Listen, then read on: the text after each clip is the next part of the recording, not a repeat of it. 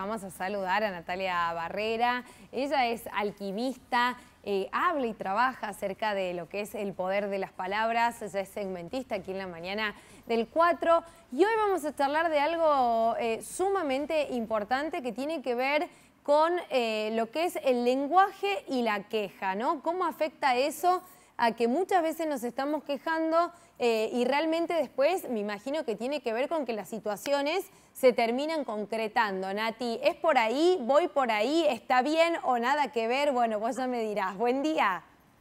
Buen día. Bueno, sí, tenemos en el cerebro un sistema que se llama sistema reticular activador ascendente. Sé que parece re largo y re difícil, pero es básicamente la zona en el cerebro donde lo que decimos y en lo que más nos enfocamos, más percibimos esa parte de la realidad.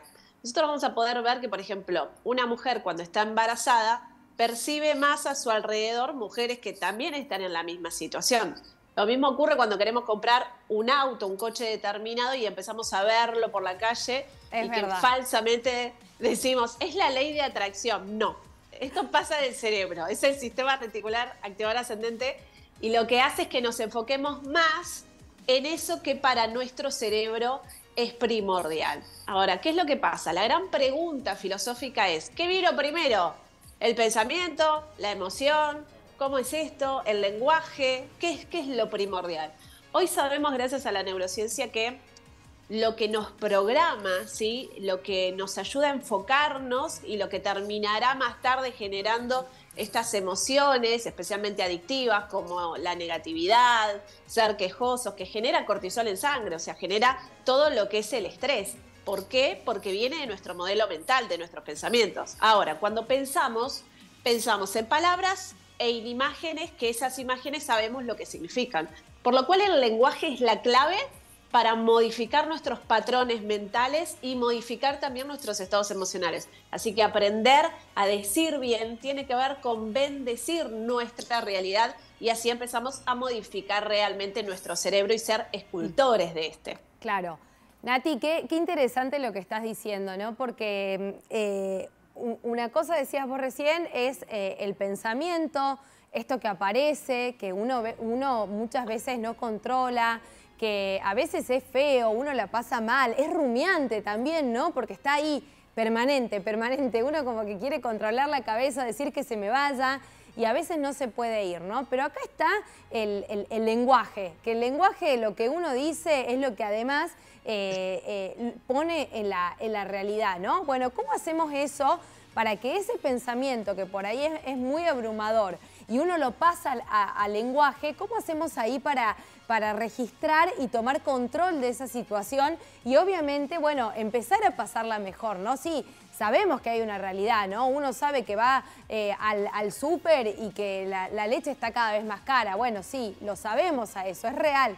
Pero en, lo que es todos los aspectos para hacer un poco más, más amable la vida, digo yo el tema primordial es que cosas nos van a pasar. Crisis siempre hay, siempre la habrá y siempre estaremos en situaciones conflictivas, ¿sí? Porque tenemos que estar en un entorno, tenemos que ir a trabajar, a veces hay cosas que no nos gustan. El tema es entrenar nuestro cerebro para que frente a la crisis podamos ver las oportunidades. Es como decía, soy con el tema de los precios, bueno, ver la oferta, ver la oportunidad o ver de qué manera yo puedo aprovecharme de esta situación, porque siempre en lo malo hay algo bueno, ¿sí? Ahora, ¿cuál es el gran tema?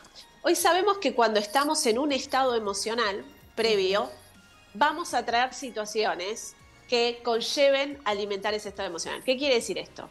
Yo, por ejemplo, puedo decir, bueno, fui al supermercado, vi los precios y me amargué. La verdad que me amargué porque digo, no llego a fin de mes, esto está cada vez peor, ¿por qué está este presidente? Y empiezo con todo el discurso que alimenta más esa visión, ¿sí? Que es la queja que es dependo de un otro y que nada se va a poder cambiar a no ser de que, bueno, pasen otros cuatro años, ¿sí? sí. Entonces, ¿qué es lo que pasa? Yo digo, bueno, voy al supermercado, pasa algo y es eso lo que me genera el malestar. En realidad no. Hoy sabemos, gracias a la neurociencia, que la persona, antes de enfrentarse al conflicto, ya estaba así. O sea, vos ya estabas enojada. El tema no es lo que te encontrás en el supermercado, el tema es qué pasó antes. Entonces, si seguimos el hilo, vamos a encontrar que la persona por ahí se despertó eh, porque el vecino empezó a cortar el pasto y claro, se tuvo que despertar a las 7 de la mañana cuando solía despertarse 8 y media. Y ya se despertó de mal humor. Ya se despertó obligada porque no podía dormir por el ruido. Y ese estado emocional empieza a generar un ciclo de pensamientos y lenguaje. El sistema reticular activador ascendente se empieza a enfocar en a ver quién más me va a molestar. Claro, y voy a tener una lista larga para ver quién me va a molestar hoy, porque, porque el sistema lo que hace es que vos atraigas situaciones y las interpretes de manera subjetiva en base al estado previo. Por lo cual lo primero que tenemos que entender es que estamos intoxicados. Que si yo no quiero que mi día siga en ese torno emocional de enojo, de frustración, tengo que frenar y alquimizar la situación. ¿Cómo lo hago? La neurociencia también nos da un tips, nos dice el movimiento. La emoción es movimiento, tengo que moverme.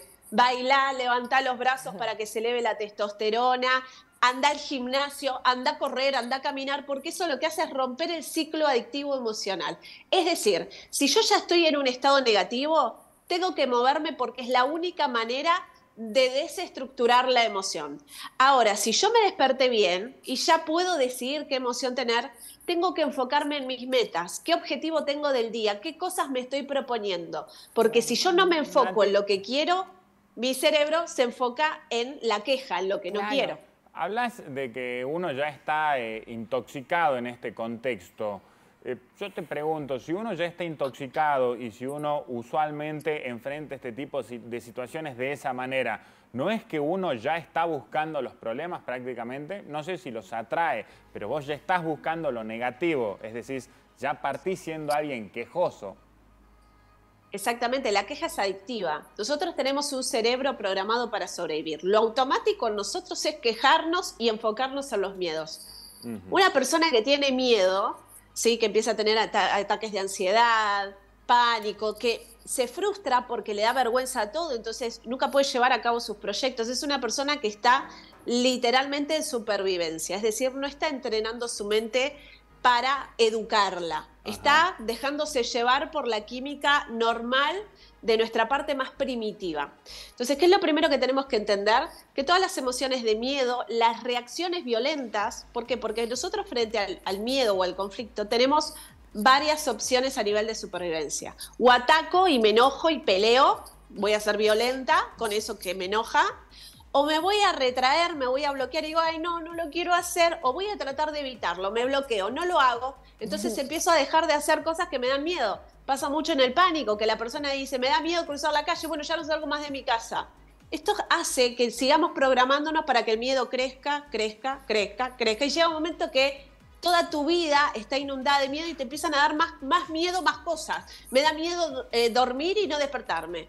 Me da miedo dejar de respirar. Me da miedo un montón de cosas. ¿sí? Entonces, tengo que cortar esa adicción. ¿Cómo lo hago? Paso a paso. ¿Por qué? Nuestra mente, que es nos hace tantas trampas, ¿qué nos dice? Dice, bueno, está bien, vamos a enfrentar los miedos que estás empezando terapia, dale. Bueno, a partir de ahora voy a ir todos los días a me, voy a agarrar el auto que tengo miedo a manejar y voy a manejar hasta la casa de mi mamá que está a 50 cuadras. Voy a empezar el gimnasio porque basta, no quiero tener más sobrepeso y voy a ir todos los días. Y voy a, y voy a dejar las harinas, el azúcar, me lo voy a tomar en serio. ¿Cuánto va a durar? Tres días. Más de eso no dura. ¿Por qué? Porque yo quiero hacer un sobreesfuerzo como si en una semana pudiera perder 10 kilos, como si en una semana yo pudiera manejar y, y estar totalmente tranquila. Y en realidad no, nuestro cerebro nos hace trampa. ¿Qué nos dice? Hace, tómatelo tan en serio que sobreexigite. ¿Para qué? Para que lo abortes. ¿Se entiende? Sí. Hace esa, esa trampa. Entonces, ¿qué tenemos que hacer? No. Tenemos que decir, ¿qué puedo comprometerme?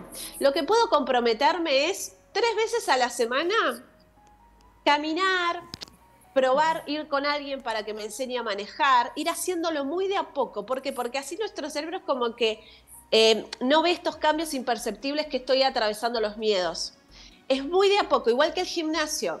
No voy toda la semana, voy dos veces, me comprometo a dos. Si puedo ir tres, genial.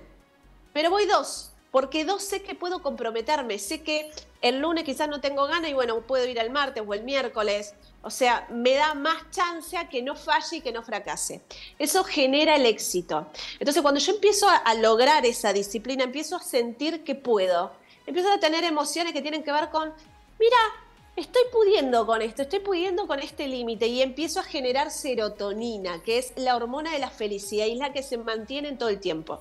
Todos buscamos la felicidad. ¿Cómo se genera? Con disciplina. Es la disciplina lo único que hace que podamos estar felices durante todo el día. En cambio, la dopamina es el placer inmediato. Es lo que te da el alfajor cuando lo comes y decís, ay, qué rico, pero después decís, ay, hace tres días que había empezado la dieta, ¿por qué? ¿Por qué fallé? bueno, el placer que... Claro. Sí, decime. No, y, pensaba en esto, ¿no? En, lo que es placer eh, ligado a la felicidad, que son dos cosas completamente distintas, pero eso es lo difícil, porque también son, son dos caras de una misma moneda. Pero bueno, Nati, lo vamos a dejar acá porque me parece que puede ser un buen tema para el próximo encuentro, ahí, eh, ¿no? diferenciar o, hacer una, distinción entre placer, felicidad y cómo, lo podemos, cómo lo podemos manejar. ¿Te parece que está bueno? Me parece genial, está buenísimo. Dale, y me, voy a quedar por lo menos yo y me parece que también para, para la gente que está del otro lado esta idea de, de no mirarse a uno un poco y decir, bueno, ¿en qué me puedo comprometer hoy? ¿no? ¿Qué puedo hacer hoy? Eso me pareció súper interesante. Pequeños pasos, pequeños pasos. Gracias Nati, buen día, abrazo grande. Gracias. Un besote.